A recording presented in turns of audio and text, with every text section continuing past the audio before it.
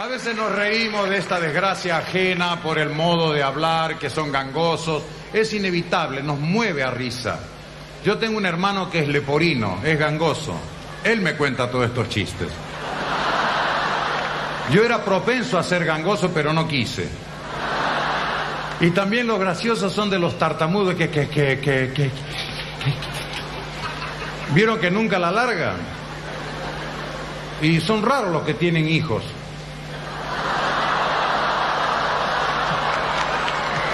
Y este era tan tarta... Era tan tartamudo que llega al consultorio y ve uno medio amigo y dice, ¿qué, qué, qué, qué tenés? Cistitis.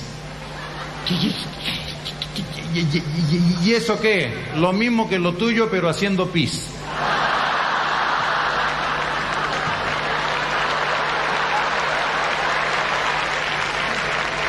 Entra en la farmacia y dijo, buenos días, señor. Yo quiero que me venda una jañaña que tiene tapa roja a la parte de atrás cuando vienen los vienen los tabes de tapa para tomar. ¿Cómo dijo? Y me puede vender una jañaña que tiene tapa roja a la, la parte de atrás cuando vienen los vienen los tabes de tapa para tomar. Ya lo tengo, eh, ya lo tengo, le dijo el farmacéutico. ¿Me lo puede decir un poquito más pausado? Yo quiero que me venda una jañaña. La parroja a la olada van cuando vienen los